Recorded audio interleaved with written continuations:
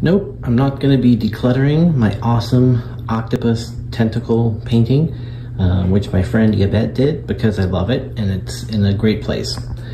But I am going to declutter my little salt lamp.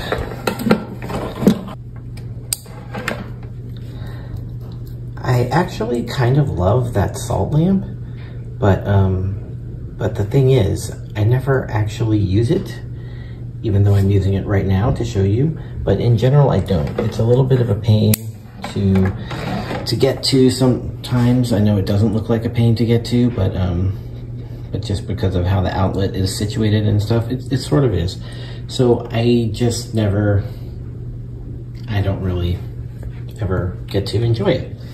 And similarly, I'm also gonna get rid of this awesome salt candle holder.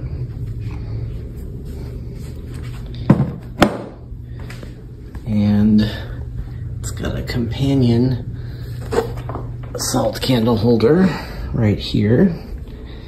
And as you can see, there's no candles in there because um, I don't really use candles at home. Candles freak me out a little bit in this environment. You can see got a little fire extinguisher there. I'm ready for action and emergencies.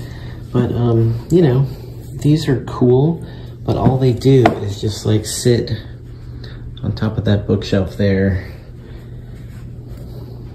These are cool, but um, I don't use them and they just take up space and, you know, rocks are heavy and I think it's time for them to find a new home. As you can see, I have a little rock collecting problem. So, so if I'm able to release any rocks back into the wild, I think I should do that.